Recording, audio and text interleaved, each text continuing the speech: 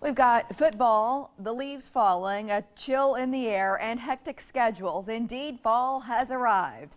This time of year can be challenging for parents, finding the time to prepare family dinners during the week.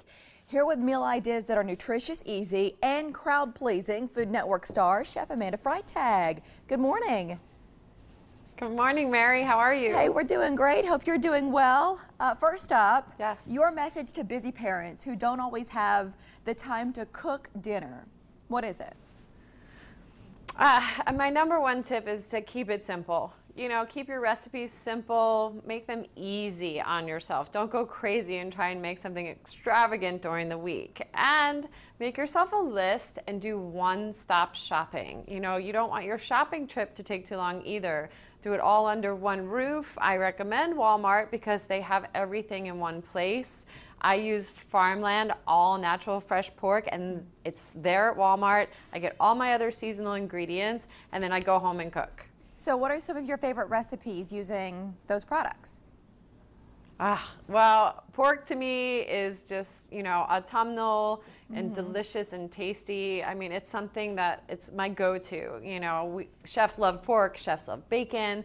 I use pork chops quite often, and I have this great recipe with sweet potatoes, which is so, Ooh. you know, so much saying fall. You know, mm. and the pork chops are seared in a pan. They have crispy bacon on top you know, and if you want to go a little lighter, a little leaner, you can take a pork tenderloin, cut it, cook it. It's done in less than 10 minutes, and then you have a salad with protein. You can put it on top of arugula with apples, and it's lean, nutritious, but you know, you have pork on there, so it's hearty entree. A few years back, there were uh, new guidelines released about the internal temperature, and I think some Americans are still a little unsure on the rules. Would you remind us about that temperature and, and physically what should it look like when it's ready? Yeah, I mean, I think pork, you know, is always a question. I know my mom always asks me, mm -hmm. you know, mm-hmm. what is it supposed to look like? Yeah. You know, should I cook it all the way? I mean, dry pork is not a very delicious entree. so you know, you can cook it to 145 degrees. If you have a meat th thermometer, check it out. It can be a little pink.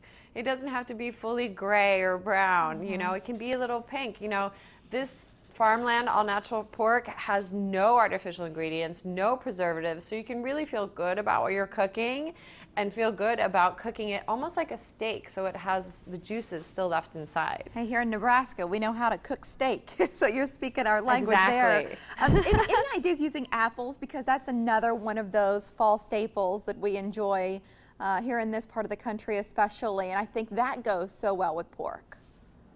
Absolutely. I mean, that's like peanut butter and jelly, mm -hmm. you know, mm-hmm. pork and apples. And of course, you know, pork chops and applesauce has always been a favorite. Yeah. you know, I kind of lighten it up and brighten it up. And when I make a salad, I thinly slice apples and put them in. And then if you put that warm pork tenderloin mm -hmm. on mm-hmm. top, it just starts to melt the apples and they still stay crispy and sweet. And it's quick. You don't have to make an applesauce or make a baked apple. It's right there and it's still that fresh apple flavor paired with pork. That pork chops so and applesauce reminds me of the Brady Bunch. I don't know if you remember the Brady Alice. Bunch, exactly, yeah. me too. Uh, is there is there one website, Amanda, that has some of the recipes and more ideas for our viewers?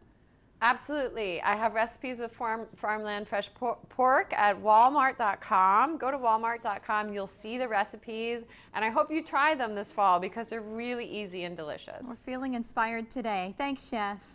Okay. Thank you. Thanks, Mike.